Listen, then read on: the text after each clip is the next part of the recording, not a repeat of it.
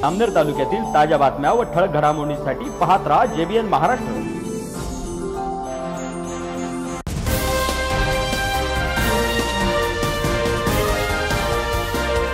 नमस्कार मी विनोद चौधरी. पाहूया काही ठळक वृत्त. जामनेर तालुक्यातील हिंगणे बुद्रुक येथे ग्रामपंचायत निवडणुकीच्या पार्श्वभूमीवर दोन पॅनलमध्ये चुरशीची निवडणूक होत असताना दिनांक तेरा डिसेंबर रोजी गावातील दोन युवकांनी माजी सरपंचपतील अनिल राजाराम चौधरी यांच्या डोक्याला रिव्हॉल्व्हर लावत प्रचार थांबवा अन्यथा तुम्हाला जीवे मारू अशी धमकी देत काही पैशांची देखील मागणी केली. सदर घटनेबाबत अनिल चौधरी व सरपंच पदाचे उमेदवार सुपडू बाविस्कर यांनी जामनेर पोलीस स्टेशनला माहिती कळवली. मात्र तीन तास उलटूनही पोलिसांकडून कोणत्याही प्रकारे मदत मिळाली नसल्याने अनिल चौधरींसह गावातील अनेक नागरिक हे जामनेर पोलीस स्टेशनला आले. यावेळी पोलिसांकडे कारवाईची मागणी करत असताना पोलीस व ग्रामस्थांमध्ये तुतुमेमे देखील झाली.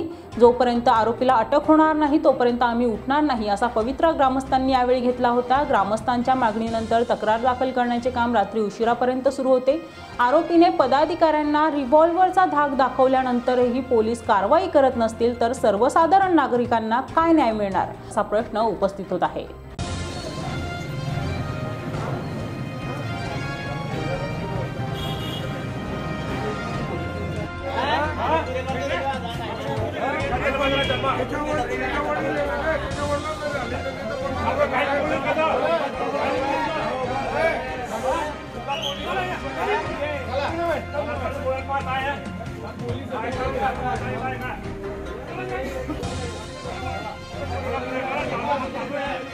माझं नाव अनिल राजाराम चौधरी राहणार हिंगणे बुद्रुक तालुका जामनेर.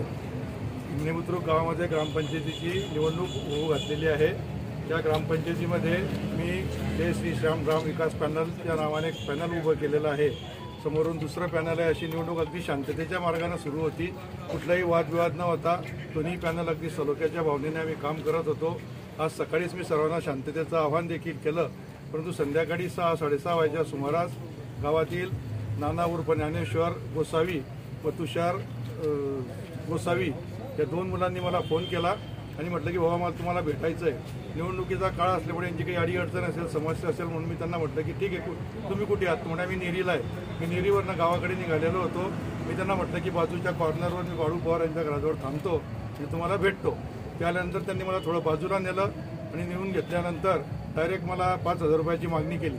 मी त्यांना म्हटलं की माझ्याकडे पैसे नाही आहेत. मी तुम्हाला सकाळी तुम्ही मला माझ्या घरी या. भेटा तुमचं काय अडचणी असतील त्या पण सांगा.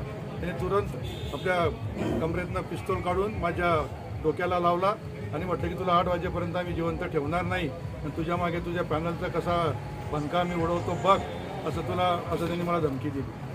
आणि नंतर जमाव जमत गेला ते पाहून ते दोघांनी तिथून मोटरसायकलीने पसार तिथे केला. त्यानंतर आपण कोणाला फोन केला जामनेर पोलीस स्टेशनला? आम्ही नंतर प- नेरी पोलीस स्टेशनला आलो. तिथे दोनच फक्त पोलीस होते. तर ते गावाकडे आम्ही त्यांना काही आमच्या मुलांचं प्रोटेक्शन देऊन त्यांना पाठवलं. नंतर तिथे आम्हाला मदत मिळण्याची काही शक्यता वाटली नाही. म्हणून आम्ही सर्व इथे जामनेर पोलीस स्टेशनला आलो. व इथे आता जस्ट आम्ही फिर्याद नोंद केलेली आहे. आज नेरीला ते आमच्याकडे लेबर आहेत नेरीचे. त्यांना सोडण्यासाठी नेरीला गेले. नेरीहून येताना त्याचा फोन आला. अरे भाऊ तू कुठे आहे म्हणे? त्यांनी सांगितलं मी नेरीला रस्त्याला आहे. म्हणे कोणत्या रस्त्याला आहे? म्हणे भाऊ आपण गावातच भेटू मी तिथेच येतोय म्हणे. मग गावात आल्यानंतर तिथे आला तो समोर? मग तिथे बोलणं चाललं केलं लगेच त्याने पिस्तूल काढला. मग तो आज तुला आठ वाजेपर्यंत ठेवत नाही मी. मग तुझं पॅनलचं काय होईल ते तू बघ म्हणे. म्हणजे असं जर त्याची भाषा असेल तर समोरच्या व्यक्तीने त्याला लावलं आणि हे कशावरून? पिस्तूल लावल्यानंतर तुम्ही कोणाला फोन केला होता पोलीस स्टेशनला? पोलीस स्टेशनला फोन केला. आम्ही तिथे अं, अडीच तास नेरीला बसले. अडीच तास नंतर भाऊंना फोन केला. भाऊंनी सांगितलं तिथे मी तुमची व्यवस्था करतो.